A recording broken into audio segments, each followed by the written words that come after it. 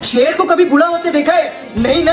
ये लेजेंड खिलाड़ी जो खेल रहे हैं, ये पाकिस्तान के शेर है। और ये जख्मी शेर है। ये वो शेर है जिन्होंने अभी वर्ल्ड कप में पाकिस्तान की बुरी तरह से हार देखी है। पाकिस्तान वर्ल्ड कप में बुरी तरह से हारा, लेकिन इन लेजेंड खिलाड़ियों ने हमारी वो शिकस्त बुला दी है। इन लेजेंड खिलाड़ियों ने पाकिस्तान की वर्ल्ड कप हारने के बाद हमें जो खुशी देना शुरू की है ना, उस खुशी का आप अंदाज़ा नहीं लगा सकते। यूनुस खान की कप्तानी में ये जो लेजेंड लड़के खेल रहे हैं, इन्होंने पहले ऑस्ट्रेलिया को मारा, आज वेस्ट इंडीज को हरा दिया, और छह तारीख को ताला हिंदुस्तान भी ये लेजेंड खिलाड़ी जिस तरह खेल रहे हैं, ये तो सबक है हमारे नए खिलाड़ियों के लिए, क्योंकि ये पुराने खिलाड़ी, पुराने चावल होने के बावजूद दो दो सौ की स्ट्राइक रेट से खेल रहे हैं। और आज के जो खिलाड़ी है, हमारे पाकिस्तान क्रिकेट टीम के, उनसे सौ की स्ट्राइक रेट से निकले जाता। शर्म आनी चाहिए हमारे नए लड़कों को। ये खिलाड़ी है यार, शाहिद अफरीदी, तीन खिलाड़ी ले उड़ा तीन खिलाड़ी आउट कर दिए शाहिद खान अफरीदी ने। हम ऐसी थोड़ी कहते हैं कि शाहिद अफरीदी पाकिस्तान का हीरो है। शाहिद अफरीदी वो खिलाड़ी है जो कभी बुरा हो ही नहीं सकता। हमारे इन पुराने खिलाड़ियों ने हमें पुराने और सुनहरे दिन याद दिला दिए वो जो सुनहरे दिन हुआ करते थे, वो हमें याद आ गए। शर्म आनी चाहिए आज के लड़कों को जो बुरी तरह से